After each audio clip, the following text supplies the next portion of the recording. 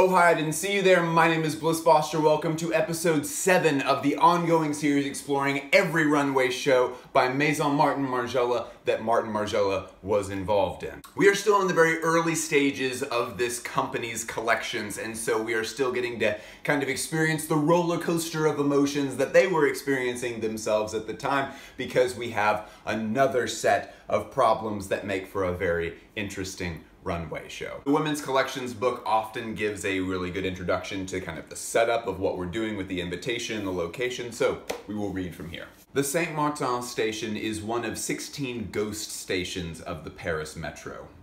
It was closed on September 2nd, 1939, reopened after the liberation, and then shut down permanently in the 1960s because of its proximity to the Strasbourg Saint-Denis station. On October 17, 1991, it was the venue for Martin Margiela's show. Thousands of glazed tiles, reputed to be the most beautiful in Paris, were illuminated by more than 1,600 candles affixed to rusted handrails. The invitation to the show was a simple business card displaying the address of both the station and the showroom with the word invitation handwritten using blue ballpoint pen. Shortly after 7 p.m., security guards abruptly closed the gates to the station just as latecomers, with editor Suzy Menkes and the designer Rei Kawakubo among them, arrived breathlessly after attending an earlier show. I think that means that Suzy Menkes and Rei Kawakubo weren't allowed in. All right, I take back the whole series. I don't like Martin anymore. Nobody fucks with my grandma Rei. So pretty clearly we're continuing this idea of making old useless things new and beautiful again by taking an abandoned metro station and using it as the pretty brilliant setting for this runway show. I kind of want to know how they were able to secure this as an actual location. Like, did they get permission from the city? The soundtrack for this show was handled by the legendary Frédéric Sanchez. He was with Martin on his very first runway show doing the soundtrack, and he's done many of the other ones since then. And he's responsible for most major fashion houses' soundtracks to this day. This show, Spring Summer 1992, is often cited as Frédéric Sanchez's proudest moment of his soundtracking career.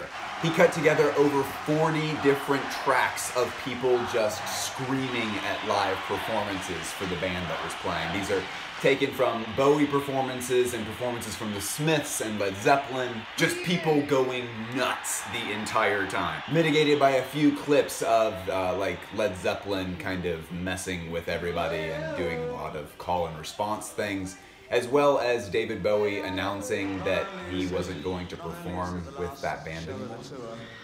But it's the last show that we'll ever do. Thank you. You can hear a lot of mixed emotions in that cheer. Most of the video footage that we're gonna be looking at today is video footage that was filmed backstage just before the runway show. Uh, we do have some photographs from the show itself, but they didn't actually have a camera out there in the metro station getting in everybody's faces. For now, the camera seems to live backstage before these performances. As far as the general styling for this show is concerned, there was uh, actually pretty minimal accessories but um, everybody had little rhinestones that were stuck in the corner of their eyes. Also, just about every single model had their uh, hands and uh, fingers at least painted a certain color. This is also the runway show where we see one of the most distinctive styling moves in the house's history painting of the motifs of the clothes onto the skin. This all comes about as the result of some very interesting problems that they had with their uh, manufacturer, but we'll, we'll get into all of that in time. Join me. Quick reminder to please support me on Patreon. I do not run any ads on this channel for your binging pleasure, and I absolutely love making this series, and honestly would like to make it a lot faster for you, but I can't do that unless more of my time is freed up, and the only way to do that is with money. You of course won't be doing me any favors there because by giving to the Patreon, you get access to the private Discord server that is a 24 hour fashion friends hangout. It's the coolest thing ever. There's tons of smart people on there, and there's a lot of really nifty fashion resources on there pause the video right now. Go support me on Patreon. Link is in the description. Pause it right now. Support me on Patreon. Thank you so much. So we start the video out on one of these scarves. There's a, a really interesting story behind this entire thing. The Maison had, had ultimately run into a problem. Their manufacturer at the time was giving them issues and just generally not cooperating. They had yet to find a manufacturer that could really help them complete their vision, that, that really understood what they wanted to do and that could help them fly. This manufacturer, uh, the name of the manufacturer is Denny Claire. They were not helping them execute the designs that they actually sent them. I think, uh, I think the Maison was just a little too future for them. But as the deadline for the show drew nearer, they knew that they needed a new solution because this manufacturer just wasn't gonna do it. That solution came in the form of a few thousand printed scarves that the team found at a local secondhand market.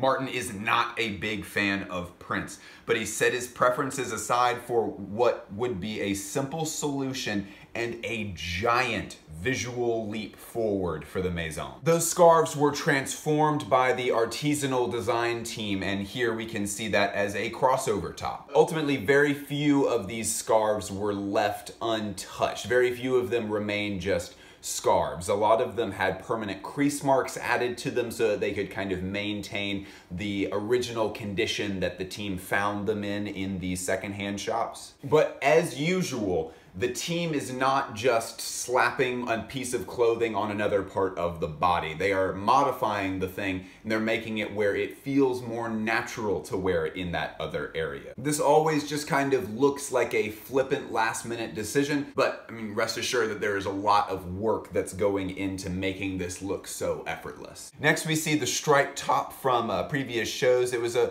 it was a look that kind of felt a little bit out of place before, um, but I'm really glad that they brought it back back for this show because it really looks great with all of these scarves. We don't have any official info on this specific look, but I'm gonna venture a guess and say that it's a top that's made from a skirt. The sleeves are clearly made from a separate material that looks a bit like muslin, to be honest. Um, the buttons also look like they were sourced from some other very strange garment. We can also see the codes of the house still being honored with this very makeshift last minute collection. Because it looks like we're using three different scarves here that are uh, laid over a dress. The scarves that make up the sleeves are noticeably different than the scarf that covers the torso. Sleeves as separates is obviously a detail that we've seen since the very beginning of the Maison. And in the background here, we can see a really small and uh, maybe unintentional detail that calls back to an artisanal piece from the spring summer 1990 show. Do you remember the look that was made of poster paper advertisements? Those papers were found in the Paris metro. They stole them. like as they were being applied to the walls, they would uh, sneak by and snatch up a bunch of them. So we got introduced to the idea of something truly useless, um, old ad posters, becoming new and beautiful again. Here in spring summer 1992, the abandoned metro is completely lined with ads from three decades ago. And that's part of what's making this whole show seem like such a time travel. We have these, I mean, what are in the world of marketing ancient advertisements on the walls. We have these clothes that are from many decades ago, and we have these uh, beeswax candles that are lighting everything up. This, this whole thing feels very ancient modern world. Very interesting. Here we see the Breton sweater with what would become a Margiela signature painted denim. Breton sweaters, of course, give off this very French nautical vibe and are actually still very popular today thanks to corny teens on TikTok. But if I could get a little bit poetic here, we're, we're seeing the dominant part of the outfit, the statement piece, being imitated in another part, a quieter part of an outfit. And this is maybe talking about how a statement piece can become the dominant element in an outfit and how the outfit almost becomes the statement piece where like the statement is bleeding into the rest of the outfit. Like that like your memory of an outfit might be like, oh, she was wearing this striped top. And then if you were like, what pants was she wearing? It'd be like, oh, I don't know, like jeans or something? That like your memory of the whole thing is this one garment. And so they're maybe making it where like that garment can visually represent the way it's remembered. Additionally, I feel like we should talk a little bit about this idea of painting the motif onto the body. We've explored this element of the body becoming part of the clothing or the clothing sort of becoming part of the body. The best example I can think of is in the second show when there was a look that was making it where the body was this customizable dress form they transformed the body of the model into a dress form. They were combining this idea of the body and the art that it's wearing. I'm not fully sure I understand what's going on with this idea yet, but I'm excited to continue to kind of watch that and see how they develop it in the future and see if we can maybe pull some good conclusions out of that as it crystallizes. One thing for sure that it does exclusively in this show, the, the paint on the models kind of demonstrates the temporal nature of this art. Typically fashion shows are one that are not temporal at all. They're, they're something that is a permanent piece of art that's usually after it gets off the runway, it's being preserved in an archive. And so it's a very permanent type of art typically, but this is one where Martin himself was the one actually painting these designs onto the model's arms and hands. And he was continuing the patterns that were on their clothes in a way that would be washed off an hour later. This was something where he almost seemed to be saying, this is an art and a beauty that you cannot buy from me. You have to do it yourself. A beauty that can't be bought. And here we can see that sometimes that paint that was being applied was not always a continuation of the pattern on the scarf. Sometimes it was just complementary. On this specific look, there's really no new technical details to cover, but just look at how different this is than their previous work. This is almost like a carnival type look. This is just, this is wildly different than what we've previously seen. And it's beautiful too, it looks great. Here in the video and uh, also in the uh, picture that's in the Women's Collections book, we can see uh, that they're doing a classic Maison detail to these scarves. They're not just tying the scarves off the way that uh, I actually have just tied this one off where it's just a regular scarf, but I've just sort of tied it at its edges. They've applied their classic kind of kitchen apron ties to these scarves, to a lot of these scarves. These visible ties have become a major motif of the Maison. Here in the video, we see Martin holding fast to the statement that he gave six months ago to Elle magazine when he said, my clothes appeal to women of a certain mindset rather than of a specific age or physique. And here we see three models that are definitely not in their 20s. But they're so pretty. Like, look at them. Those are those are three really beautiful women. Here we see the uh, the clothes that exemplify the problem with the manufacturer. We see a white and a black top that execute the same concept. It's a dress that's meant to be worn as an extended top. So we can see the double zipper there. That actually goes, the zip goes all the way up to the shoulder straps and all the way down to the ankle length of the skirt. What they wanted you to do was to just have it zipped covering just this part of the torso, maybe a little bit lower, maybe down to the waist. So the idea here was that they have the zipper running all the way up the shoulder straps and everything and all the way down, but that there are stops that are built into the zipper so that you actually can't zip the bottom one past right here. And you can't zip it up past a certain point on the neck. This makes it where, I mean, classic Maison move, they're wanting to say like this is a dress, but you're going to wear it as a top and then you're going to wear like a skirt under it or some jeans under it. And they're kind of helping you style yourself in a way that exemplifies the look of the house. Okay, well, their manufacturer heard that idea and said, no, I am not going to put a stop into that zipper because then no one will ever be able to wear it as a dress again. And this is a dress, which is perfect. That's the exact kind of moral soapboxing that we hire manufacturers for. The Maison never worked with them again. One question I do have though is what's up with these sleeves? It could be that maybe they're scarves with permanent crease marks that have been converted into sleeves. I really wish we had a better look at them. Either way, they're absolutely beautiful. Like I said, there are very few accessories this season besides the rhinestones near the eyes, but we just nearly missed an accessory because the classic Margiela cuff was incorporated into a black sleeve for this season. It was also just worn as a separate cuff the way they've traditionally done it. Okay, so this might actually be the most interesting thing in the entire video here. I find that my favorite parts of these are the parts where I have to end them with, I don't know. And this is definitely one of those times. At one point in here, it says, quote, Inventive, form-fitting tops with permanent fold marks recreated the checked pattern of a Prince of Wales motif. Okay, so this is what a Prince of Wales motif looks like. Now, I imagine that they are talking when they say this about this top, where we can't really see it super well, but this does seem to be that checked pattern. However, we also have these still photos of looks that are here and here. And what these possibly look like to me is that they are using the same techniques to do the Prince of Wales crest, which looks like this. Maybe it's both?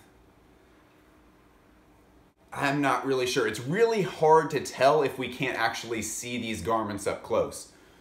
Now, why is this here? I, I don't really know. Uh, one thing that I've really learned from doing these runway show analysis within the Margiela series and outside the Margiela series is that when a political or cultural figure is being referenced in a runway show, because political figures themselves can represent so many different things. I mean, you could take pieces of their life or certain events that they've done or certain clothes that they've worn in their own past or just you can take almost anything about them and make it kind of mean whatever you want. It's hard for me in earnest to tell you this means this because it can just mean so many different things. There's such a temptation for me as an interpreter to make that kind of artificially or sort of wring out some kind of meaning that fits into this show and I I don't want to do that to you. So we'll leave it at this. I would really like to hear y'all's thoughts on this and kind of get a little bit of perspective from the audience. So please drop some comments below about what this could possibly mean or what it means to you. Another look features a jabot, a plain white tank top, uh, the silver paint that was from the second and third runway shows, as well as a skirt that um, seems to do the same with pinstripes that the Breton sweaters were doing with their stripes earlier. We know from the documentation of this collection that the zipper that's on that skirt that's uh, not visible and the exposed seams which are also not visible here um, but both of those ran diagonally on this piece. I'm surprised their manufacturer didn't have some kind of moral problem with that too. That fucking guy. Here we see a single shoulder knit that has a detachable second sleeve. That's a fun little detail there. Here we see an example of a dress that's been converted into a skirt. Much like before, I imagine that this dress was taken down to its pattern pieces so that they could find a way to make it perfectly comfortable and simple and natural as a skirt. And to be honest, that, that has to be the case because uh, for a high-waisted skirt, this, this fit is absolutely perfect. We see at least one piece that's a little more orthodox for the house. This is uh, a classic Margiela shoulder coat with a spread collar and a uh, deep neckline. And also the back of the collar sits really high up on the neck, which is an absolutely great choice. It's a really cool looking coat.